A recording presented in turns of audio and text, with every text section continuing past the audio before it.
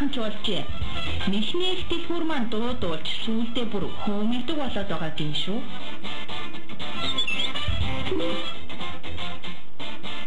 Топ мессеж өмнөх дугаартаа хууль бусаар хил тамаа орж ирдэг үр зулгуулах хэмээн тухай хөндөж байсан.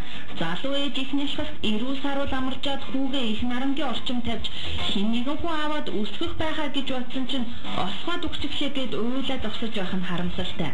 Бас нэг ээж дөрөд 24 цаг болоогүй үрээ орчны үүдэнд орхиод зүгтааж няраа нүн л осгоод өгчихсэн байх жишээтэй. Хүүхдээ төрүүлчгээд би ээж болмоор би байна гэд хэлээ зогсох залуу хээжүүд үйлсэн хэрэгтэй эрүүгийн хуулийн тусгай ангийн 117-гийн 2-оор шийдэгдэн хариуцлага хүлээдэг.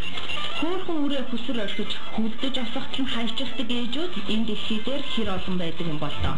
Монгол эмэгтэй суу бэлэг хатан ухаан хайчаавэ.